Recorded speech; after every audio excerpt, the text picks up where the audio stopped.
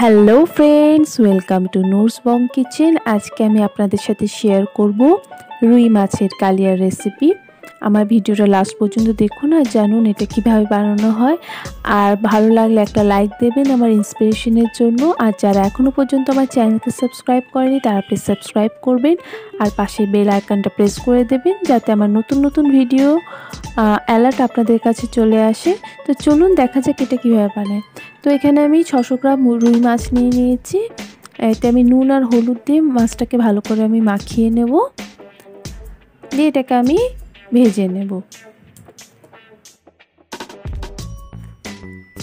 তো এখানে আমি একটা ননস্টিক প্যান নিয়ে নিয়েছি। এতে আমি ফোর টেবিল স্পুন সর্ষের তেল নিয়ে নিচ্ছি মাছ ভাজার জন্য।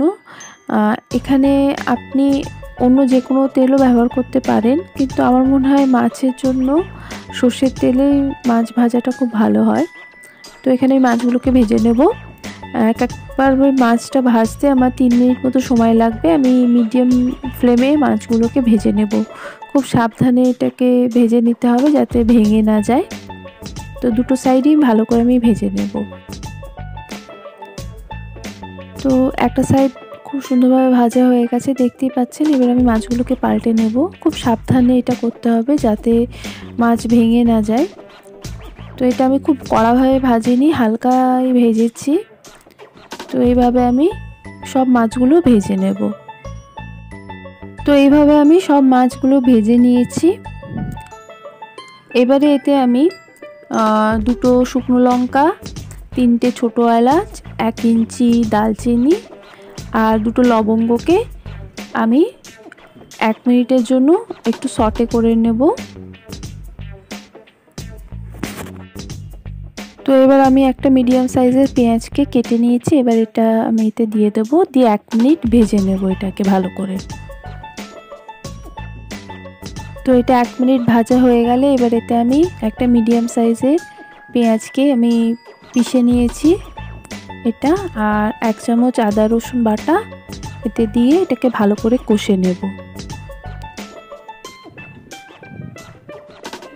তো এবার এতে আমি হাফ টি স্পুন হলুদ গুঁড়ো, ওয়ান স্পুন জিরে গুঁড়ো, হাফ স্পুন লঙ্কা গুঁড়ো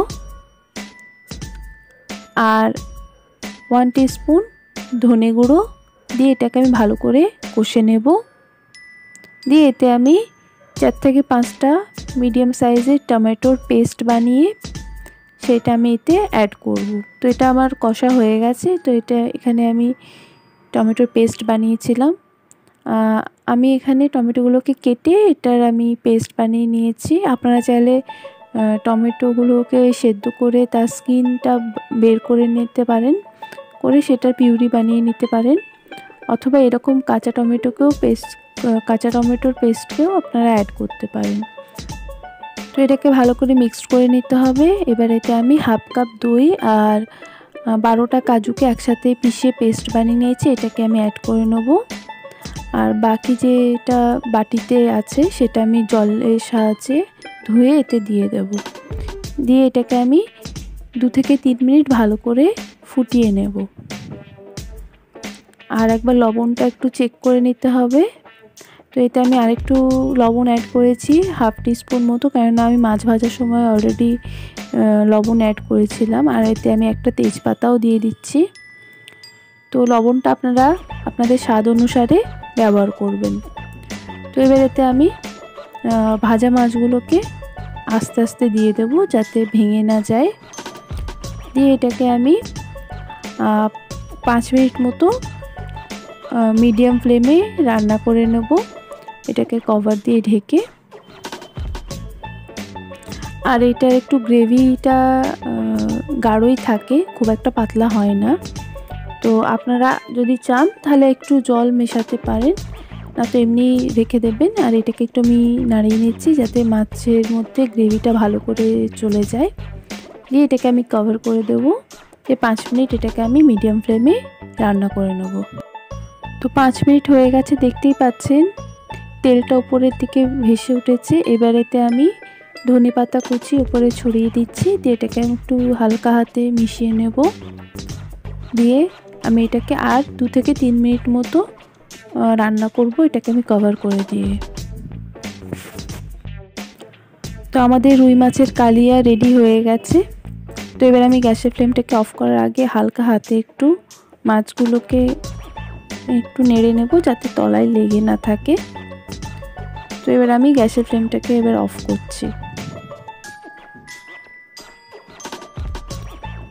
তো বন্ধুরা, রুই মাছের কালিয়া রেডি হয়ে গেছে, তো এটাকে আমি সার্ভ করার জন্য আমি সার্ভিং বলে ট্রান্সফার করে নিচ্ছি। তো আশা করি আমার এই রেসিপিটা আপনাদের সকলের ভালো লেগেছে। আপনারা সকলে একবার অবশ্যই এইভাবে রান্নাটা করে দেখবেন, খুব ভালো লাগবে। আর শুধু রুই মাছই না যে কোনো বড় মাছ আপনারা এইভাবে রান্না করতে পারেন। আপনাদের খুব ভালো লাগবে। ঘরে ছোট, বড় সকলেরই খুব ভালো লাগবে এটা। তো বন্ধুরা, আবার দেখা হবে আমার নতুন রেসিপির সাথে। Thank you